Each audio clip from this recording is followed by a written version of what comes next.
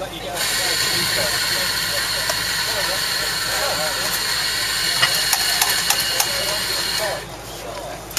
for her.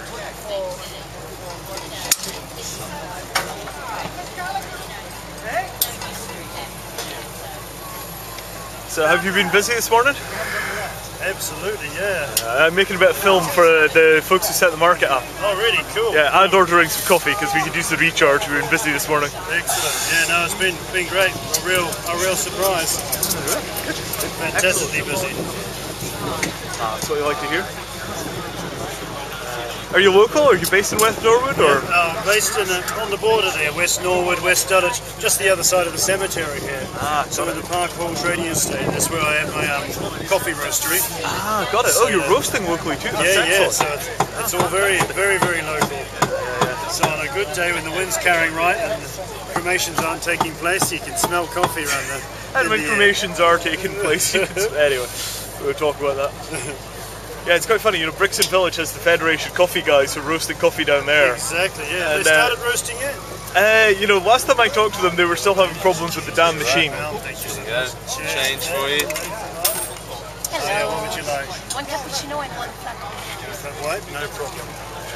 Yeah, they were still trying to get the machine organised for roasting. Yeah, and apparently, it's a bit of a pain in the ass with health and safety and. I last heard, you know, it's, uh, for them getting the extraction right was a problem.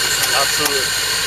You know, it's not a facility that was designed for a light industry. You know, it's retail space. That's it. So yeah, they've got themselves a different. They've got the machinery, but they haven't quite got the uh, the go ahead. You know, you know they'll, they'll get there. It's a great thing.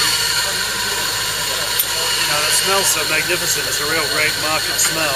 Absolutely. Blends in there with all the the food. Yeah, it's a great smell of the coffee grinding as well. Oh, look at that. Ah, lovely, lovely. This is the thing, tea just does not quite cut it somehow. Doesn't quite have that pungency in the aroma, does That's the one, that's the one. It doesn't have the experience, the machines that go whir and buzz and click. Dougal, Yeah. we're, uh, we're about to order coffee. So apparently these guys are roasting just on the other side of the cemetery. Oh right. Yeah, they're, they're literally right over there. Is the Oh, roasting somebody facility. told me about this. Yeah, fantastic. Great. So hyper local coffee. Hyper local coffee, which is becoming a bit of a fixture. I was thinking with Fedco, that's also you know hyper local coffee, the uh, roasted right in the market facility, Yeah. uh, hyper local coffee experience. Alright, I should, like- actually Yeah, yeah. a hyper local pasty at the moment. Oh really? Okay. Yeah. That's the same colour as your shirt. That's not reassuring. well, it tastes splendidly orange. Excellent. it? Look, how do you do? Good. All right, I'm gonna order us some coffee here and stop filming.